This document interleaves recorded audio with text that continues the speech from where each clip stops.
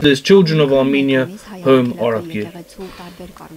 It's been more than a month now that the Armenian Apostolic Church's different committees and groups, with cooperation with social and employment ministries, are accepting the refugees from Artsakh, providing shelter and food and all other necessities required. The Arabgir Armenian Children's Home is now accepting many who have lost their homes and possessions in Artsakh.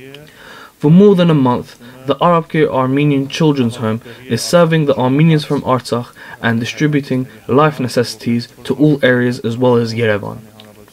This has been a fruitful exercise between the church and our government's successful cooperation. As you are aware, our Catholicos, through structure of our church, has provided essential assistance to our countrymen from Artsakh. 500 refugees have been provided shelter and other necessities by our church. Special attention is given to the children that have lost their homes and possessions because of the war and the Azeri aggression. Besides life necessities, the children need moral and psychological support.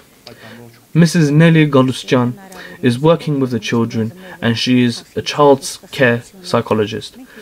She expressed her concern that many of the children needed psychological support. We are trying to eliminate the psychological pain that some of the children endured. We never talk or remind them of the war. We have had an exhibition of drawings and paintings by the children produced by them. We try to have a jolly time with the children, painting, drawing, and playing games.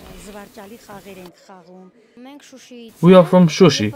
We were at Shushi when the war broke, and our mother sent me and my sister to Yerevan. Then, on the 29th of September, when the war took a more dangerous turn, my mother and our aunt joined us. I came to Yerevan before the war broke out.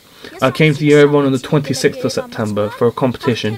Then I called my mother to tell her that I had won. Then my mother told me that the Azeris have attacked us and the war has started.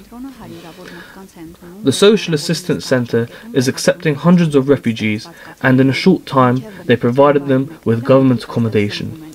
Until they are accommodated, they are provided with food, medicine and other social assistances. Most of the time, the immediate action is to provide shelter, food, and medical assistance, and in some cases, psychological assistance.